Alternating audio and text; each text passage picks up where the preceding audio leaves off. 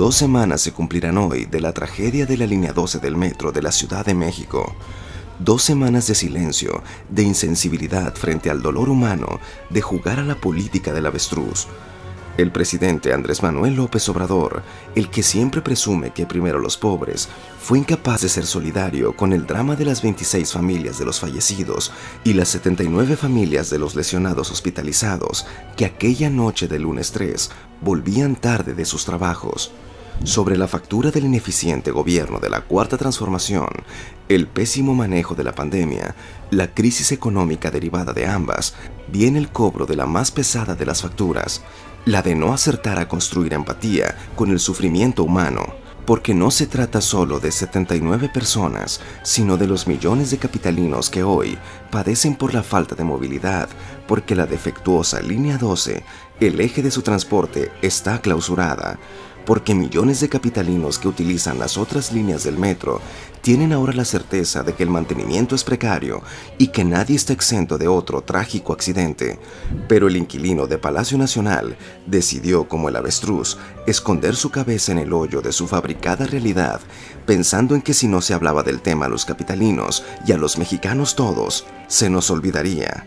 Y durante dos semanas, el presidente López Obrador se dedicó a blindarse con un teflón de presuntas guerras y complots que distan mucho de ser más importantes que lo que sucedió en la línea 12.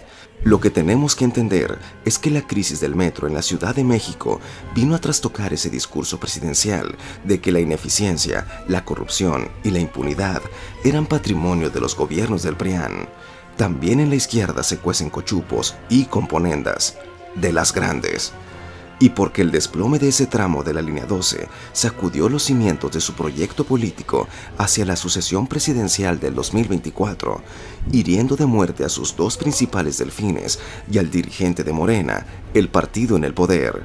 Marcelo Ebrard debió volver a enfrentar los severos cuestionamientos sobre la calidad de aquella línea 12, inaugurada a las prisas hacia el final de su sexenio como jefe de gobierno y que dos años después lo obligó a un retiro voluntario de la política para irse a refugiar algunos años a París.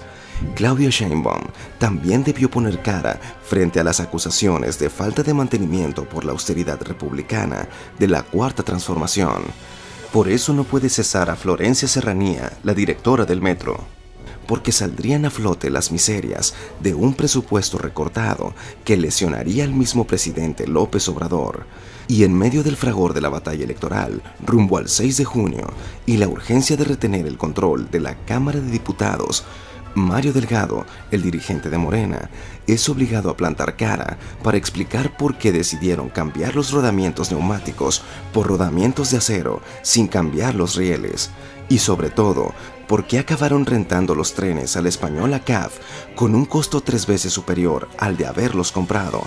Frente a las nulas respuestas que a dos semanas de la tragedia todavía nadie puede responder, el presidente López Obrador está obligado a tomar la más difícil de todas las decisiones.